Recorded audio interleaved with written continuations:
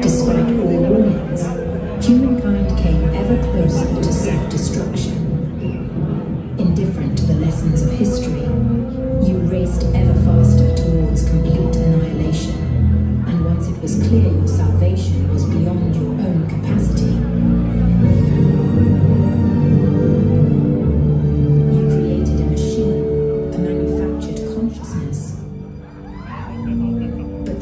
ignorance, you could never have predicted the methods of this technology.